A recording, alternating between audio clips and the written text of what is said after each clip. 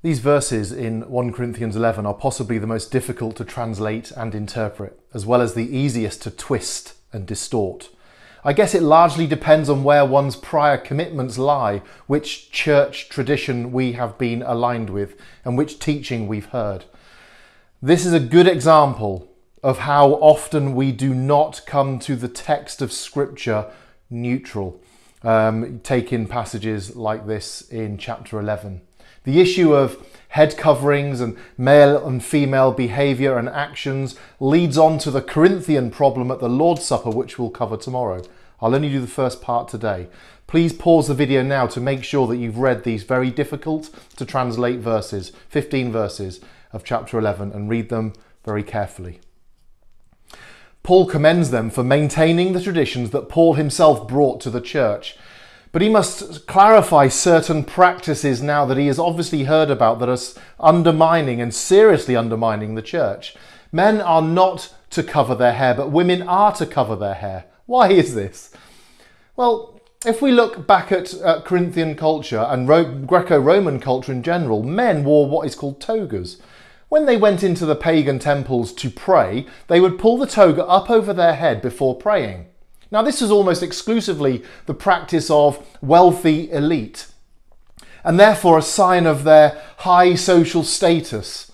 It was essentially a form of virtue signalling, of power play, of self promotion, of look at me, similar to the Pharisees in the gospel that Jesus so strongly chides. Paul comes in and says, No, a gospel no. So, why, conversely, did the women have to cover their hair? Bear in mind the temple prostitutes that operated in Corinth and around the towns uh, likely uh, had shaved heads. They had no hair. But hair was seen as a kind of veil, therefore, a sign of loyalty and commitment to their husband. For a woman not to pray with her head covered would therefore have been viewed as sending the wrong signals, showing availability to pagan temple immorality and promiscuity. Uh, it would be seen as a dishonouring of husbands and, and the wider church family. Paul insists on coverings as a sign of marriage, which doubles as a sign of the woman's authority to speak, which women are clearly allowed to do in the early church, obviously. And in this way, Paul subverts the, the ritual pagan prostitution racket of the Athena cult, thank God.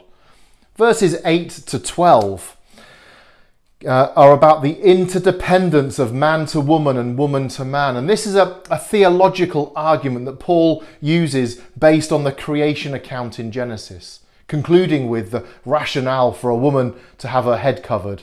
And then Paul says enigmatically, because of the angels.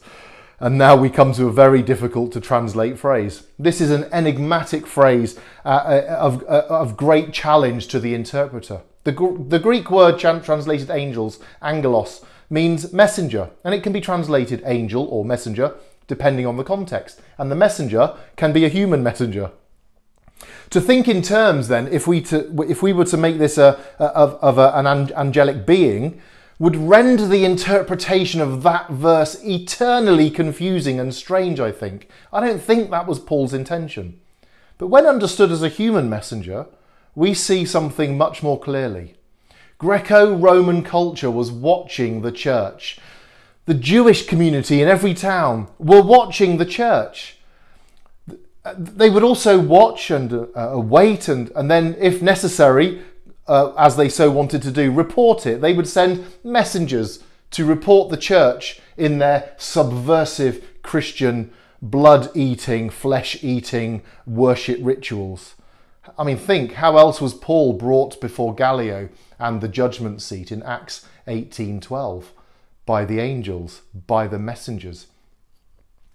Anyway, so headship coverings and authority within gender roles, uh, Paul argues, are based in creation. Paul argues now that they are to be distinctive. These roles are to be distinctive, but without mimicking pagan idolatry. So they are uh, distinctive in a Christian way, but not in a way that draws unnecessary attention to itself in the face of the angels or messengers, or as we would say today, the secret police. So Paul's premise in verse 3 sets us up nicely. we are offered a theological rationale of Trinitarian relations God to Christ, Christ to man, man to woman. This is not about subordination or gender supremacy, though some church traditions work very hard at saying otherwise, to their shame. It is about the headship of men and women based in Trinitarian theology, based in Trinitarian relations.